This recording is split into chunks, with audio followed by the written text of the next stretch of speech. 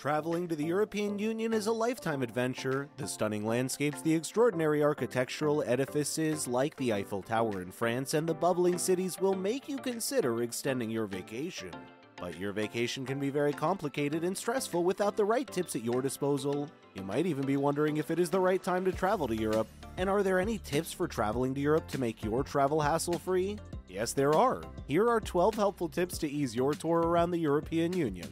Wait a minute, do you know that you can travel more and explore the world without worrying about money? Of course, you can spend less with our vacation club offers. Simply book your hotel, car, rental, restaurant, or any of your dream destinations as a member and get up to a 75% discount. To join our travel club and get access to these exclusive deals, click on the second link in the description box. Before I dive further, please don't forget to hit the like button and subscribe to the channel so you don't miss out on any of the spicy destinations that we're about to cover. Number 12, verify your documents. Don't get carried away with the excitement of seeing new places, discovering new things, and meeting the Europeans that you forgot to do the needful. Are you an American traveling to Europe, an Indian, or an Australian? Irrespective of your nationality, ensure to double check all your travel documents. Valid visas, passports with enough pages, and travel insurance are some basics to look at first. Children must have their own passports or ID card. However, you will not need a visa to travel within the Schengen countries. Most EU countries have removed controls at their borders. For example, you can go skiing in Switzerland, have dinner in Paris, and move down to see the Pope in Rome without having to show your passport when crossing the border. Number 11, pack a few adapters. One of the necessary pieces of luggage to travel with is your adapter. It will be painful to discover that you can't charge your laptop or phone because the European outlet does not work with your American style outlet. Therefore, try to get a universal adapter before leaving your home country. Also, don't hesitate to travel with a power converter. The wall socket varies from that of America. Plus, there are fewer outlets in hotel rooms than in the United States, so trying to power up 3 to 6 devices simultaneously may be impossible, except you get an alternative. Number 10, do this when your flight is cancelled.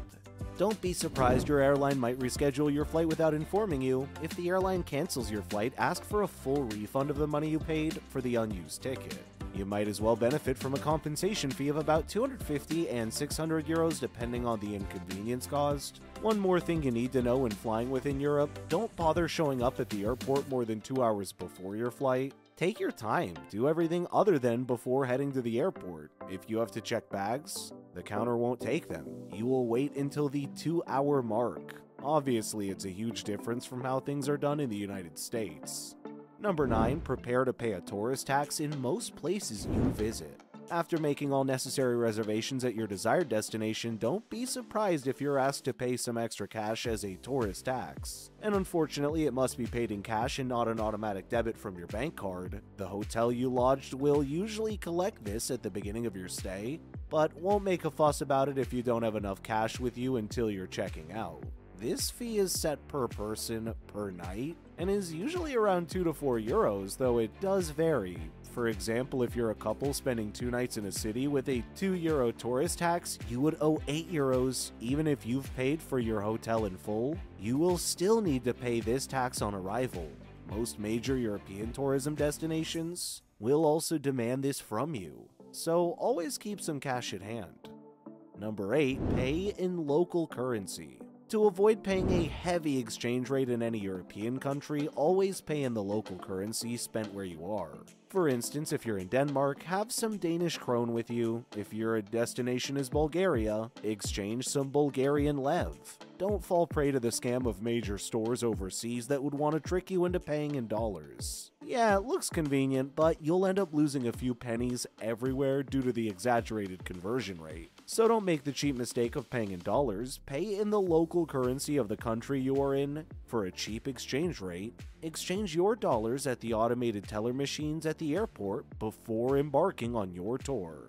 Number 7. Avoid automated teller machine fees. Traveling to Europe can be so exciting, but you must be cautious of the money traps that might get on your nerves. One of them is the automated teller machines fees. Imagine paying $5 for each withdrawal. That's weird, right? Besides many stores, restaurants, and tourist sites in Europe, do not accept American credit cards. As a result, you must always withdraw funds. And remember, every withdrawal can incur a $5 fee. Before leaving your country, you should visit your bank and ask about whatsoever fees to expect and how to avoid them. Even then, avoid Euronet ATMs like the plague. The costs of Euronet machines are outrageous. Instead, find an ATM from an actual local bank. Number 6. Keep track of your coins. Euro coins go as high as 2 euros. Be sure to spend them as soon as you have them to avoid ending up with a heavy 20 euros worth of coins. Number 5. Always validate your ticket before taking the bus, train, or boat. In America, once you've purchased your bus or train ticket, you're good to go. That's not the case in European countries. After buying your bus or train ticket, you must validate it at every boarding point. Don't be in a rush to catch up with the bus and forget to swipe your ticket at the scanning machine. Once a transport controller comes on board for verification and finds you with an unscanned ticket, you will pay heavily for that. Yeah, that's how they make their money. Number 4. Keep in mind that many restaurants are not always open all day. For many countries within the European Union, it's a common practice for restaurants to close in the afternoon, usually from 3 p.m. to 7 p.m. Also, if you're visiting during the summertime, consider making reservations, especially in major cities. If you want to eat at a particular restaurant, especially one that's well known, making reservations in advance will save you some headaches. If you do not know how to go about it, your hotel concierge will be happy to help.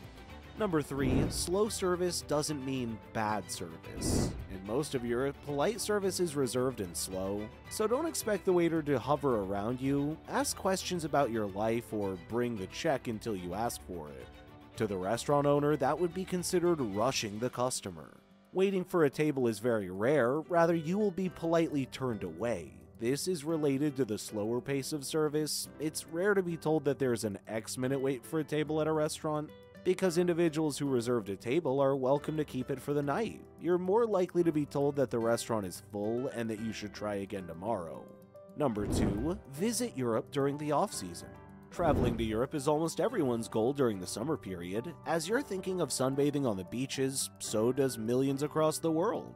What do you think will be the effect of this? There will be long queues at the tourist sites, higher prices, and overcrowded beaches. Traveling during the off season makes the experience more relaxing and private, and you can save money on accommodations, train tickets, tours, and every other thing. Edinburgh is cheaper and less crowded during the off season. You can even converse with the Scottish natives more intimately. The best time to visit is April. You can enjoy the bloom of dandelions and the cherry. If you're eager to visit Greece and get the best of it all, visit during the off season. Though the weather might be a little warm, there is less crowd, and you can selfishly enjoy the pristine sight. Iceland is the best place to visit in March. There are no queues, you can visit the Blue Lagoon without waiting for two weeks and stroll around as if you're private property. Spain, especially Barcelona and Madrid, can be crowded during summer, but in May the weather is mild and sunny with few people. Number 1. Stay connected without paying huge phone bills for data. Use eSIM. The invention of the eSIM must be one of the biggest game changers for anyone planning on traveling to Europe. Getting an eSIM will save you time and money, and will allow you to keep your original SIM card in case someone tries to contact you via text message, they will be able to get in touch. Simply check it out online, download the app, and purchase an eSIM for a country or region where you'll be. Follow the steps to activate it, and you're good to go. Your original SIM card is still inside your phone, so you can receive messages, but the eSIM provides your data for the internet. That's all for today. If you enjoyed this video, please give it a thumbs up, share it with friends, and remember to subscribe to the channel if you have yet to. And if you haven't joined the Vacation Club, remember to click the link in the description section below. We'll see you next time.